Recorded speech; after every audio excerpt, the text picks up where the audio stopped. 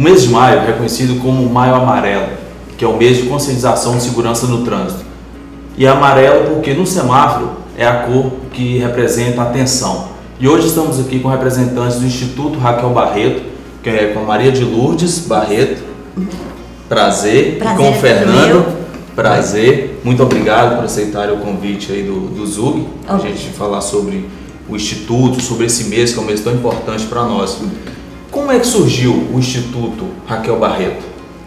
É, o Instituto Raquel Barreto, ele surgiu em 2010. Foi registrado né, em 2010 devido a, a um acidente né, com a minha filha Raquel Barreto, de, de 24 anos.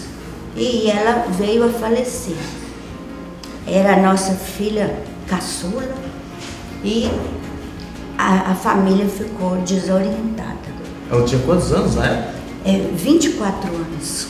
Como foi esse acidente? É, é motorista é, embriagado. É, ali foi ali para cá do, do aeroporto. Então, quando a gente recebe a notícia, desmorona tudo, né? Mas uma coisa bacana aconteceu, porque eu não, eu não me conformava naquele dia. Então eu estava gritando mesmo, não só chorando. E pensei, veio uma vozinha né, na, na minha cabeça e, e eu pensei, isso não pode ficar desse jeito. E, e já, já nessa época era, já era 18 mil pessoas que morriam no trânsito. Esse número hoje, ele, você acha que ele vem crescendo ou vem diminuindo? Número de acidentes? Acidentes. Olha, ele, ele oscila, né? Ele sobe e desce, sobe e desce. Mas a gente está vendo uma diferença muito grande para melhor aqui na cidade, onde os motoristas já estão mais conscientizados, estão parando nas faixas, não são, não é o, o ideal ainda, tem que melhorar muito mais. Mas eles já, já estão parando para as pessoas passar.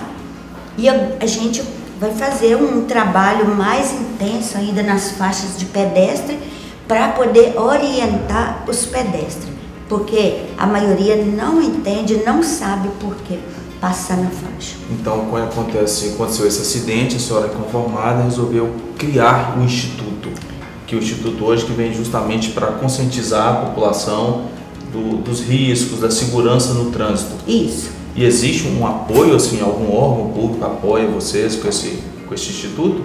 Sim, existe. É, uma, um é esse aqui, né? a- o Estúdio 30, que a gente agradece demais o Jefferson, para que ele tanto ajuda a gente, e a Prefeitura Municipal, todos os prefeitos que entram lá, eles colaboram, né? A gente tem um, um termo de co- colaboração. E isso ajuda muito a gente, mas não é o suficiente. A gente, para fazer mais coisas audaciosas, para dar mais resultados, a gente precisa de, de, de ter condição financeira melhor, de ajuda né, das pessoas para poder a gente estar conseguindo fazer esse tipo de trabalho. Quais são os tipos de campanhas que o Instituto faz? O Instituto Raquel Barreto ele faz todos os tipos de ações que tem para a gente fazer durante o ano. né? Que é, é o Maio Amarelo, que é muito importante. Esse, esse movimento foi criado lá pela ONU, né? E onde eles, em 2010, eles começou esse essa questão de dar mais atenção para o trânsito, né? Aí veio, aí é, é, é, na época eles também introduziram o maio amarelo, porque nós temos outubro rosa, né? Temos novembro, novembro não, tô lembrando aqui. Novembro azul. Novembro azul e assim por diante. E o trânsito tem também. O Fernando, que é psicólogo, né, Fernando, do Instituto, o, parece que o Instituto, ele, ele aceita também tanto as pessoas vítimas do acidente no trânsito, quanto as causadoras né, do acidente Sim, no sim. trânsito. Como é que, como é que é esse trabalho? Existem muitas procuras? Como é que é feito esse trabalho? Sim, sim. Existe muita procura e nós também fazemos a busca ativa. Nós vamos atrás das pessoas envolvidas no acidente. Na hora a gente não faz, a gente não faz, a gente não separa quem que foi vítima, quem que foi causador. É, são pessoas que precisam de, de algum acompanhamento para poder ressignificar aquilo ali. É, tanto com as pessoas que sofreram o acidente, quanto as que causaram, também com as famílias das vítimas desse acidente fatal.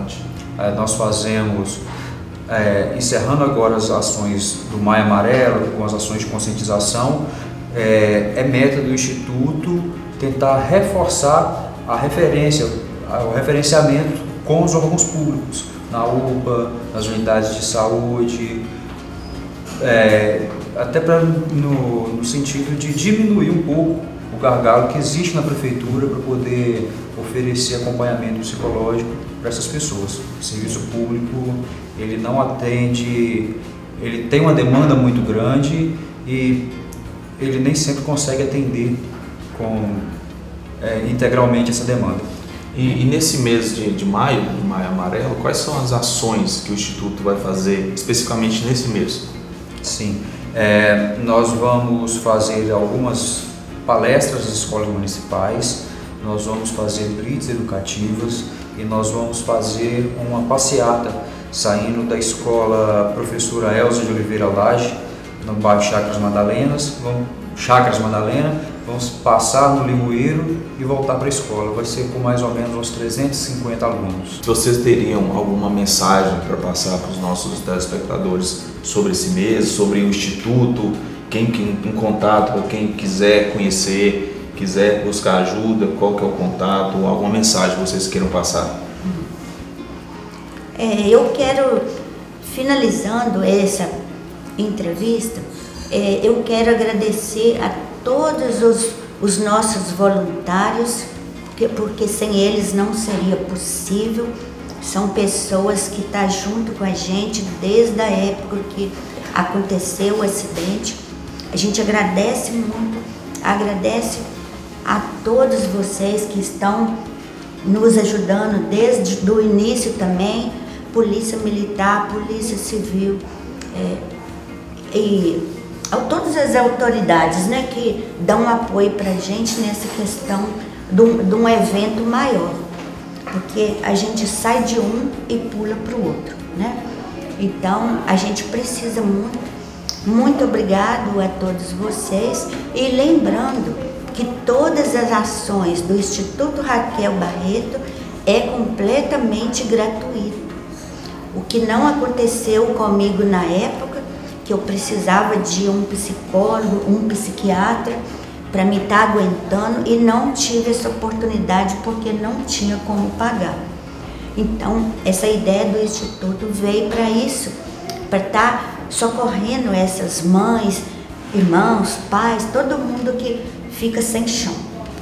E teria algum contato que as pessoas quisessem, algum endereço para as pessoas buscarem até vocês? É, nós temos as nossas redes sociais, Facebook, nosso Instagram, nós estamos na Avenida Galileia 388 e temos nosso celular também. Esse número também é nosso WhatsApp e pode entrar em contato e a gente vai tentar encaminhar e fazer o serviço da melhor maneira possível. O número é 98605 2663.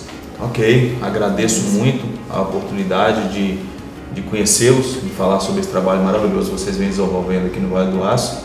E espero a gente estar podendo participar também junto com essas campanhas, desses blitz, para a gente estar divulgando o maior número de pessoas possíveis para estarem se conscientizando desse, desse problema que a gente vive, que é a segurança no trânsito.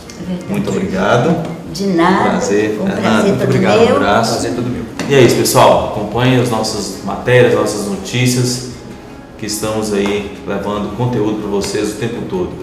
Zug, conteúdo o tempo todo.